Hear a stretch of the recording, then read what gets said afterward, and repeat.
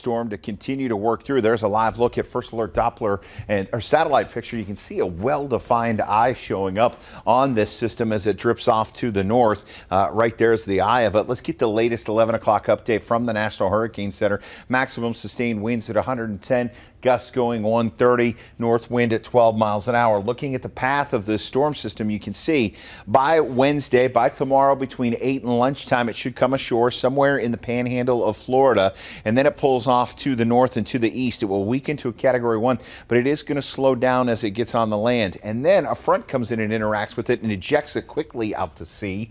You'll notice that Thursday morning, 8 a.m., it's still in Georgia somewhere.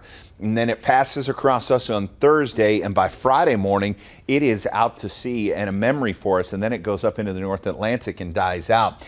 We'll look at a couple of the rainfall models. Now, remember, a model is a tool. Like when you build a house, you need a hammer, you need a saw, you need a screwdriver. Well, this is one of the tools we look at to build a forecast. So this is not the forecast. But I'd want to show this because look at the axis of the heaviest rainfall. This bright pink area is down east in the European model. Now watch where the bright pink area is in the American model.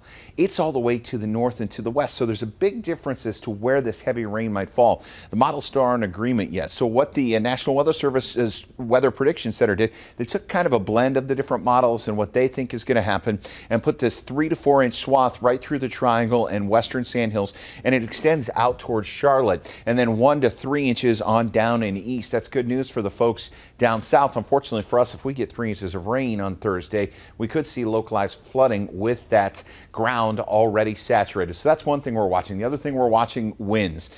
Flooding, if we look at the risk with this hurricane, you'll notice elevated risk for flooding. I think it's a little higher than anything else right now. We do have a, a, limited risk for damaging wind or even an isolated tornado, depending on the path of that storm. If it goes more to the west, then we kind of get in the sector that would be more conducive to forming a tornado.